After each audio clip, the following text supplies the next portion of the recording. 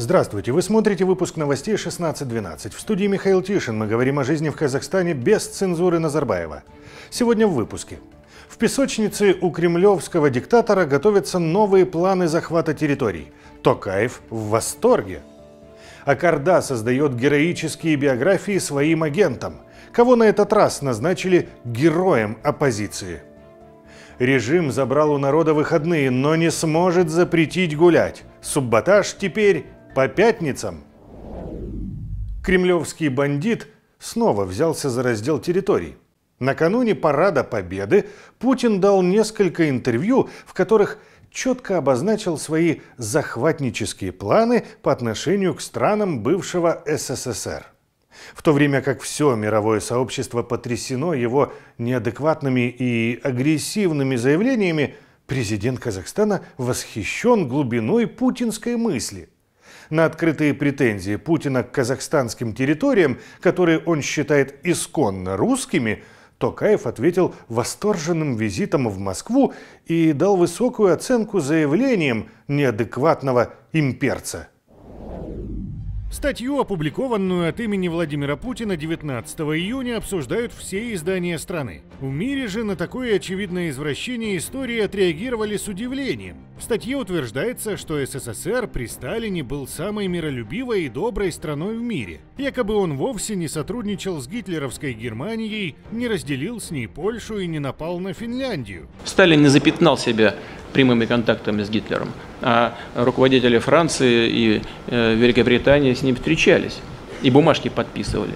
Да, был подписан, э, подписан э, э, пакт молода Риббентропа и секретные к нему приложения. Это правда. По версии Путина, во всем оказались виноваты западные страны – Англия, Франция и даже сама Польша. А мудрый Сталин просто перенес границы. Из этого Путин сделал вывод о необходимости ведущим мировым ядерным державам провести передел сфер влияния, как это случилось после Второй мировой войны, когда мир был поделен между социалистическим и западным блоками. Наши коллеги, господа Си Цзиньпин, Макрон, Трамп, Джонсон, поддержали выдвинутую российскую инициативу провести встречу лидеров пяти ядерных государств, постоянных членов Совета Безопасности. Однако никто из мировых лидеров не ответил на предложение Путина. Это очередная нелепая попытка заставить Запад снять санкции, признать его право на агрессию, как это было с Грузией и Украиной. Неудивительно, что на парад Путина отказались ехать даже близкие друзья по СНГ, президент Азербайджана, премьер Армении и туркменский диктатор Бердымухамедов. Но Токаев отправился в Москву на фоне прямых угроз всем бывшим соседям по СССР, которых Путин также намерен подчинить. Об этом он сообщил в интервью, которое было показано по российскому телевидению 21 июня. В нем он прямо заявил, что все бывшие участники Советского Союза являются должниками русского народа. Если та или иная республика вошла в состав Советского Союза, но получила в свой багаж огромное количество российских земель, традиционных российских исторических территорий, а потом только решила выйти из состава этого союза. Ну, хотя бы тогда выходила с чем, с чем пришла – и не тащила бы с тобой подарки от русского народа. При этом Путин имел в виду вовсе не Украину, о которой он рассказал отдельно. Приобрели Крым и потеряли практически Украину. Вот ссора такого масштаба, она того стоила? Во-первых, Крым всегда был нашим, а, а, даже с юридической точки зрения. Во-вторых, мы не приобрели народ, проживающий в Крыму, приняло решение воссоединиться с Россией.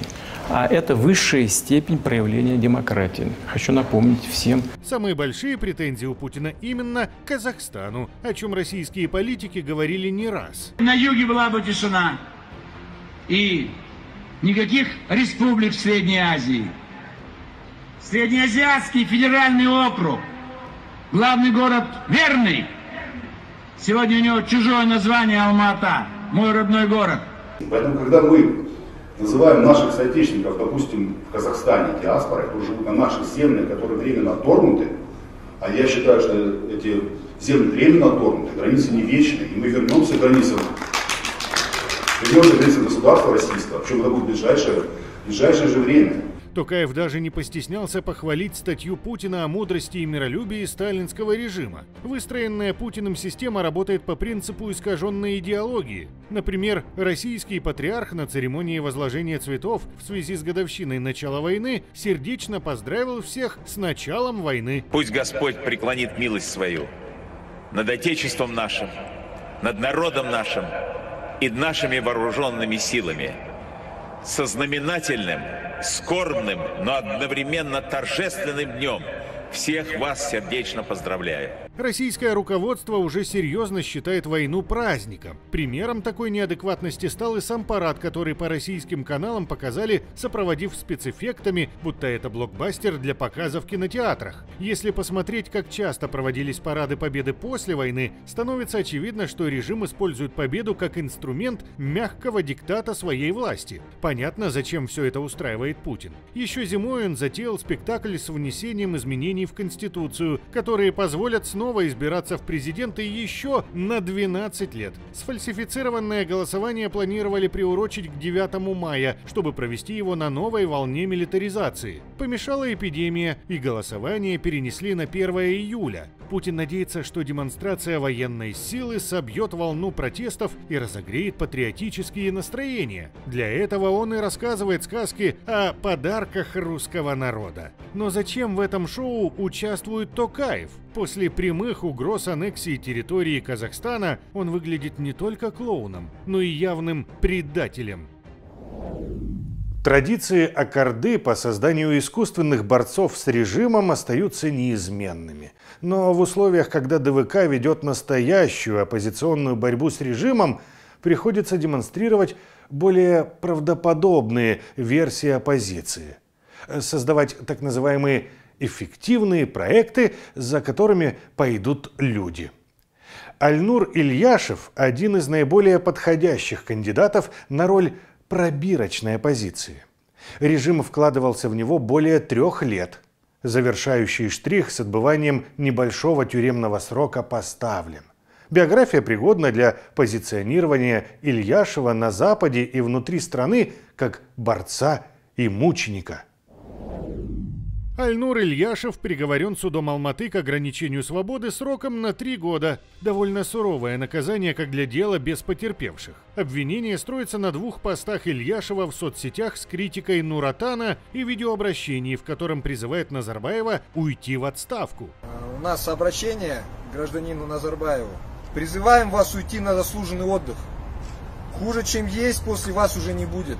Ильяшев хоть и называет себя гражданским активистом, но придерживается концепции действовать в так называемом правовом поле. Отсюда 36 заявок на проведение митингов и организация одного разрешенного, согласованного протеста. По большей части он привлекает к себе внимание в соцсетях, дает интервью, активно занят самопиаром. В его планы не входит объединение людей и сопротивление режиму на улицах. Мы все с вами прекрасно знаем, что, к сожалению, э, на такие действия нередко вас толкает именно желание обрести какие-то материальные блага, там, улучшить имущественное положение собственное, своих родных, близких, друзей – Ограничение свободы для Ильяшева – это спектакль, чтобы изображать противников власти и отвлекать внимание от реальных политических активистов. Ильяшев остался на свободе и без проблем сможет продолжить заниматься показным и осторожным оппонированием Нуратану. Еще он будет прикрываться ореолом мученика, пострадавшего от режима.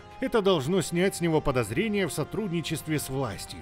Режим давно освоил этот прием, сформировав целый ряд подобных помощников Аккорды по типу Касанова последнее время внимание к себе привлекает журналист Жанбалат Мамай, еще в прошлом году объявивший о создании Демократической партии Казахстана. Как работает эта схема, было наглядно показано во время митингов 6 июня. Тогда полиция жестоко разогнала и задержала вышедших на улицу сторонников ДВК. Тем временем Мамай, под усиленной охраной полиции, давал интервью телеканалам власти. Полиция следила, чтобы реальные активисты не помешали ему записывать речь. Мамай, как и Ильяшев в свое время также был осужден, получив по сфабрикованному делу условный срок с запретом заниматься журналистской деятельностью. Но это не помешало ему продолжать работать, снимая документальные фильмы. Даже организовывать свою партию Мамай начал еще находясь на пробационном контроле, при этом спокойно путешествуя по всей стране. Власть не посчитала это нарушением режима пробации. Также гражданским активистом и журналистом себя называет и другой известный агент КНБ Ренат Кибраев, который был осужден за содержание притона и организацию притонов для занятия проституцией, но был досрочно освобожден, чтобы помогать преследовать активистов ДВК. Меня посещали через день сотрудники КНБ. Приходили они в сопровождении, или Ренат приходил в сопровождении сотрудников отдела по борьбе с экстремизмом, где он сам лично снимал меня на ролик, на видеообращение, где требовали с меня признательные показания. Также он пришел и требовали с меня, чтобы я рассказывала на камеру текст, который был приготовлен заранее для меня. Здесь были написаны вопрос журналиста и ответы Демеевой Жазиры. Говоря об этом, то, что Ренат Кибраев туда приходит в сопровождении сотрудников отдела по борьбе с экстремизмом, я больше чем уверена, что он сотрудничает с ними. Другой известный провокатор Сирикжан Мамбеталин, который называл себя то экологом, то националистом, возглавлял партию Руханият. Недавно он отказался от гражданства Казахстана и поселился в Великобритании, что, однако, не мешает ему писать программы о будущем нашей страны и строить планы о ее переустройстве. Ну, проблема в том, что правила игры э, диктует не общество, диктует не народ, а диктует как бы власть нынешняя. И Вы хотите сказать администрация президента? Э, Я хочу сказать, что правила игры, они не, рав, не равны для, для всех участников. На самом деле, э, президентские выборы это не наши выборы. Мы готовились э, к парламентским выборам. Также он участвовал с Касановым в форуме «Жана Казахстан». Отношение властей к таким персонажам делает разницу очевидной. Одним позволяют критиковать власть, устраивать мелкие акции и оставаться на свободе. Реальных же активистов ДВК и Коще преследуют за социально-экономические требования, и они получают реальные тюремные сроки. За последние два года только по обвинению в принадлежности к ДВК по статье 405 Уголовного кодекса были приговорены к реальным тюремным срокам несколько десятков человек. Власти постоянно преследуют активистов, против которых не удается сфабриковать дела, как это сейчас происходит с активистом из Петропавловска Азаматом Байкеновым. Во-первых, я прошу общества поддержки, так как э, нам необходимо отстаивать свои права, нам необходимо бороться за свободу слова в этой стране. Если мы будем пускать это на самотек, да, то есть будем мириться с тем, что блогеров, журналистов преследуют, там, э, открывают на них различные статьи уголовные, то мы придем к тому, что э, скатимся до уровня Туркменистана, Северной Кореи. Примером жестокости к власти стало дело матерей Оксана Шевчук, Гульзипа Джаукерова и Жазира Демеуова были отправлены в тюрьму за участие в мирных митингах, даже несмотря на наличие малолетних детей. Деятели наподобие Мамая, Ильяшева и других их коллег получают совсем другое отношение. Их громко судят, изображая жертв режима, но наказывают лишь для видимости, позволяя не только служить власти, но и хорошо зарабатывать. Как и другие пробирочные оппозиционеры, Акарды Ильяшев получил беспрецедентную поддержку Нурсми и целого ряда правозащитных организаций, что позволило широко освещать его процесс за рубежом. Никто из политических активистов ДВК и Коще партии никогда не получал такую масштабную помощь. Мы ожидаем, что Акарда вложит в Ильяшева гораздо больше средств, чем в Мамая. Именно для этого он сидел и работал на собственную биографию. У реальных оппонентов режима появится очередной Касанов, который будет дробить процесс и уводить людей с улиц в диалог с режимом на их стороне. Пока вы смотрите, в комментариях кипят обсуждения. Поделитесь своим мнением и вы. Также подписывайтесь на наши страницы в социальных сетях. Такой тяжелой и сложной ситуации, как сейчас, в стране не было с начала 90-х годов. Разгул преступности, бедность, бесправие и произвол властей давит на народ с огромной силой. Тяжелее всего политическим активистам. Несмотря на груз проблем, они улыбаются, они шутят, они танцуют. Субботаж дарит нашим гражданам искренний и всеохватывающий позитив. Мы собираемся, чтобы преодолеть свои страхи и печали, выйти гулять с друзьями и единомышленниками. Гуляем в эту пятницу вновь. Правительство усилило карантинные меры в ряде городов и областей, но при этом стоят огромные очереди в различные учреждения. Общественный транспорт перегружен людьми. Пляжи Копчагая закрыты, хотя не проблема организовать, чтобы между отдыхающими была достаточно большая дистанция. Коронавирус активен именно в выходные дни, когда ДВК объявила о проведении субботажа по всей стране. Столпотворение. Карантин до сих пор действует. Мое предположение, что Властям либо нет дела до этого, либо полное наплевательское отношение. Очевидно, режим Назарбаева понимает, что такие акции могут объединить людей.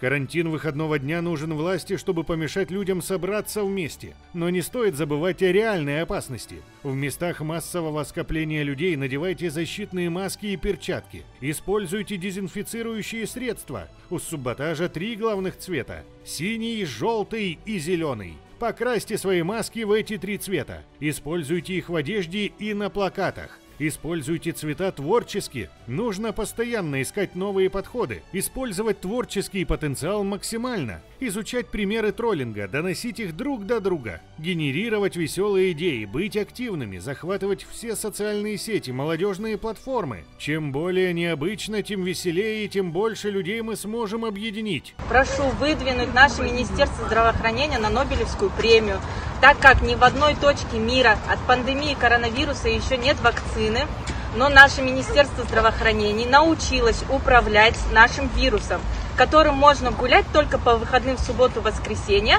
а в остальные рабочие пять дней мы можем заниматься своими личными делами и ходить по городу.